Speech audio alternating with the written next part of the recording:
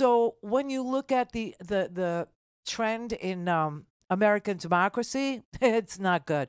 The young ones, the under 30s who don't have any news that is trustworthy, providing them with any.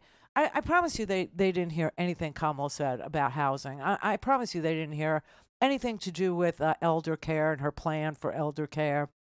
They didn't hear anything uh, about building uh, 3 million new housing units to bring down the price of housing.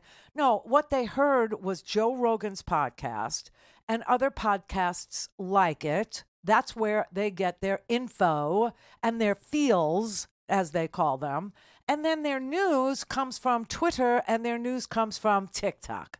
And that is what led them to vote for a felon who was twice impeached, isn't sentenced yet, but will be at his sentencing hearing next week in New York, uh, who obviously has no plan for anything except promises mass deportations.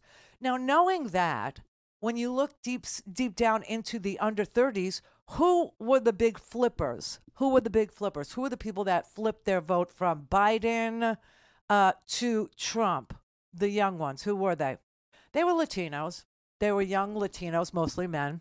And I guess they liked the uh, whole macho thing. I guess that's it. Uh, because, you know, uh, uh that's who uh, switched. That's who uh, changed their voting habits from Democratic to Republican. Don't have time to listen to the live show? Want to hear more on your schedule? Go to randirhodes.com and buy a stinking podcast.